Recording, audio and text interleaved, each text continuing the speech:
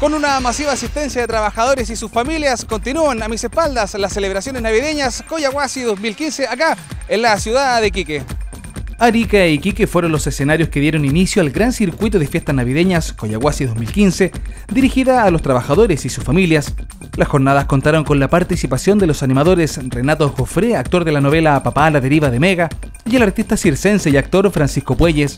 Además incluyeron diversos juegos y sorpresas para los más pequeños que disfrutaron en grande esta celebración. Todo bien, todo tranquilo, eh, importante traer siempre a la familia pensando que la podemos pasar bien, bonito, comer bien y disfrutar en familia, es lo más importante que lo que produce todo esto en realidad.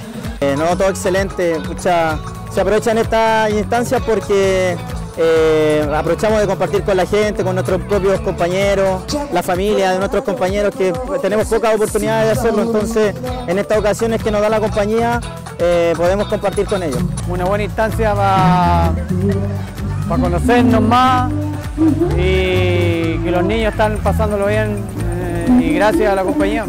Las celebraciones incluyeron la participación de los dobles oficiales en Chile de Romeo Santos y Shakira, además del show infantil Cantando Aprendo a Hablar y la tradicional visita del viejito Pascuero, quien compartió y escuchó los deseos de los niños. Además se fotografió con todos quienes quisieron un recuerdo de su visita.